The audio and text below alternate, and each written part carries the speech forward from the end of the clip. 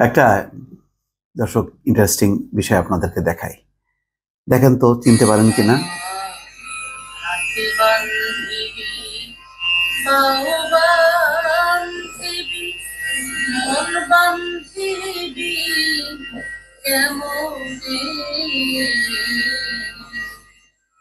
আমার চোখ বান্ধিবি মুখ বান্ধিবি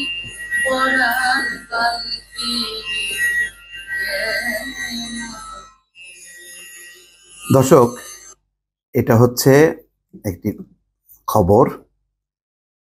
সেটি হচ্ছে অজ্ঞাত স্থান থেকে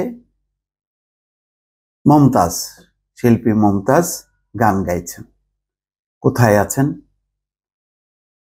কেউ জানে না। এমনই একটা অবস্থা।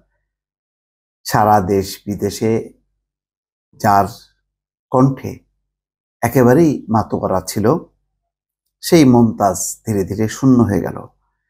এবং লাস্টে এমন অবস্থা হলো যে মমতাজ এই দ্বাদশ জাতীয় সংসদ নির্বাচনে নৌকা প্রতীক পেয়েও সে জিততে পারেনি। এত কোকিল কণ্ঠী বলা হতো। আমার ঘুম ভাঙাইয়া গেল রে হ্যাঁ? সেই কত গান তার। আপনারা নিজেরাই জানেন, আমি গ্রামে গঞ্জে শুনতাম মমতাজের এবং কি তুমুল জনপ্রিয়তা। আজকে রাজনীতিতে এসে তার অর্জনটা কি হলো? সেই জনপ্রিয়তাটা গেল। মমতাজকে ভালোবাসত দলমত নির্বিশেষে সবাই। যখন নাকি দলের হয়ে যায়, তখন অন্য যারা, আর বিশেষ করে আওয়ামী লীগ তো যে অবস্থা ছিল শেষের দিকে, একটা ঘৃণিত দলে পরিণত হয়েছিল। তো যে দলকে পছন্দ করে না, সেই দলের শিল্পীকে কেন পছন্দ করবে? খেলোয়াড়কেও পছন্দ কেন করবে? আজকে দেখেন সাকিব আল হাসান, দেশে আসবে কি আসবে না? তাকে করুণভাবে ফেসবুকে স্ট্যাটাস দিতে হচ্ছে। এক ধরনের মাপ চাইতে হচ্ছে যে ছাত্র আন্দোলনে সমর্থন না করে। এবং কেন রাজনীতি করছে যে এলাকার উন্নয়নের জন্য? বলতেছে না যে বঙ্গবন্ধুর আদর্শে বিশ্বাস করে, এইটা বলার সাহস পর্যন্ত নেই। তো দেখেন আমি এই জন্য সবসময় বলি, শিল্পী, সাহিত্যিক, কবি, যারা, তারা হলো অ্যাসেট তারা এই সাকিব বলছে তো যে, আমি যখন ভালো খেলি, তখন দেশ তখন হেসে ওঠে। আমি যখন খারাপ খেলি, তখন দেশও কাঁদে। তার মানে এখানে তো আওয়ামী লীগ, বিএনপি নির্বিশেষে সবাই, সব পক্ষের যখন ভালোবাসা থাকে, সেই ভালোবাসাকে পায়ে ঠেলে কেন আমি একটা দলে যাব? এটিকে আমার পেশার প্রতি সম্মান রাখছি। আচ্ছা ছাড়া বাংলাদেশের যে রাজনীতি, এখন পর্যন্ত হানানি রাজনীতি, এক দল আর এক দলকে যেখানে নিশ্চিহ্ন করতে যায় এইরকম নিশ্চিহ্নকরণ এই রাজনৈতিক প্রক্রিয়ায় আমি কেন নিজেকে সম্পৃক্ত করব? আজকে দেখেন, সে ওই দুঃখের গান গাচ্ছে, কোনো অজ্ঞাত স্থান থেকে সমকাল সেটি প্রকাশ করেছে। এখন আরেকটি, কালকে দেখলাম সেই গান আর আজকে সেই কোকিল কণ্ঠী মমতাজের খবর হচ্ছে, কণ্ঠশিল্পী মমতাজ বেগমের ব্যাংক হিসাব জব্দ। কি খবর? কেন? কণ্ঠশিল্পী ও মানিকগঞ্জ দুই আসনের সাবেক এমপি মমতাজ বেগমের ব্যাংক হিসাব জব্দ করা হয়েছে।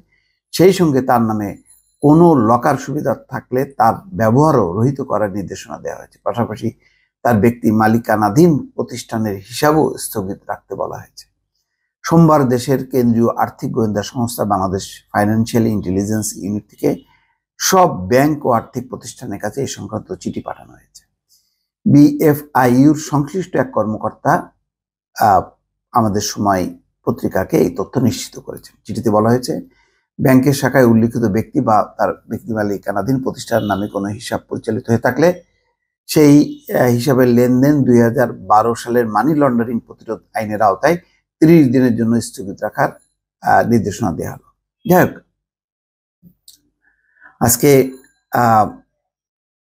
এই আমাদের সময় এতেও, পত্রিকাতেও একটি ওই ওই খবরটি দেওয়া হয়েছে যে প্রথমে যে গানের দৃশ্যটা দেখালাম, সেখানে বলা হচ্ছে, এদিকে দু মাসের বেশি সময় পর গতকাল রবিবার প্রকাশ্যে এসেছেন কণ্ঠশিল্পী মমতাজ।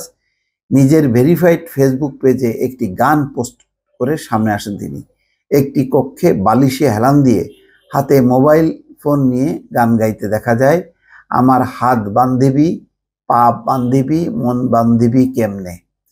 আমার চোখ বান্ধবী মুখ বান্ধবী পরাণ বান্ধবী কেমনে? গানটি শোনা যায় মমতাজের কণ্ঠে। এখন দুঃখের গান গাচ্ছে মমতাজ। অথচ এইরকম দুঃখে পড়ার কোনো কারণ ছিল না। রাজনীতি, বিষাক্ত রাজনীতি আজকে মমতাজকে শেষ করেছে।